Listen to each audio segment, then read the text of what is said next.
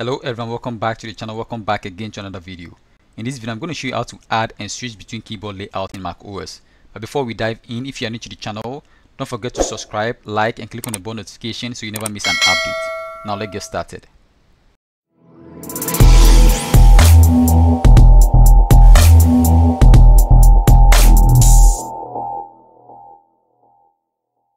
So to add and switch between keyboard layout in Mac OS, you need to watch this video to the end so that I don't miss any of the steps, okay? So to do that, I'm going to open my virtual machine which contains the Mac OS and then we demonstrate how to do that. So let me quickly open my virtual machine. So this is the Mac OS I have installed in my virtual machine, okay? So to add a keyboard layout, you are going to click on the system settings.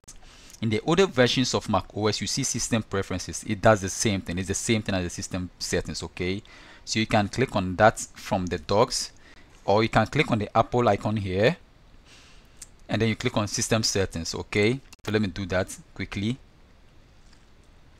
So this is where we are going to add um, our keyboard layout. So we'll scroll down and then at the left pane of the window we click on keyboard. And then on the right side beneath the text input at the input source we'll click on edit so this is the default input source we have okay as the keyboard layout okay? So to add another keyboard layout you click on the plus sign. So here you can add a language you you, you want to use and here you can add a keyboard layout. So let me click on this ABC Indian keyboard layout and then we add that one okay?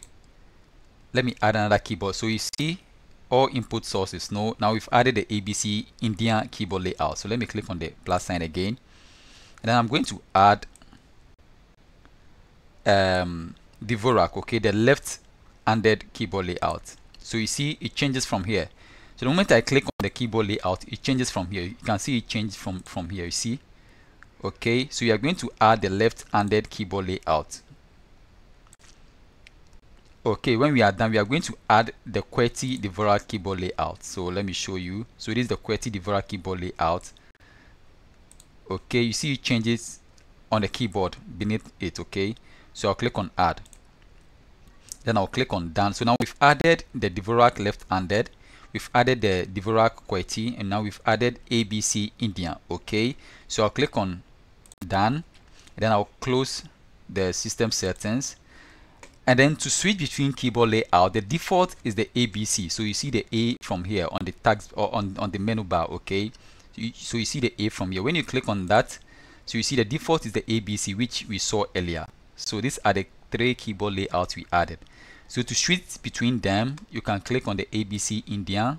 So you see from here India. And, can, and then you use the keyboard layout. You can click on it and click on the Dvorak left-handed and then you use the keyboard layout okay? So you see from here DVL which is Dvorak left-handed. So you click on that and then you click on Dvorak QWERTY. So you see DVQ okay? So this is how to add a keyboard layout okay? So if you want to remove the keyboard layout we go to the same process. So we click on the system settings. And then we scroll down and then we click on keyboard so at the input source we click on edit. And then to remove any keyboard layout you click on the layout and then you click on this minus sign okay? So let me click on that the Dvorak left-handed and I'll click on the minus sign. Let me click on the Dvorak QWERTY and then I'll click on the minus sign. When you are done you click on done and then you close the system settings. So you see here you don't have the ABC again because that is the default okay? So this brings us to the end of the tutorial. Please if you find value in this video don't forget to support the channel by clicking on the subscribe button liking the video and turning on the bell notification for more tech tips. I really appreciate your support. Thank you for watching and bye bye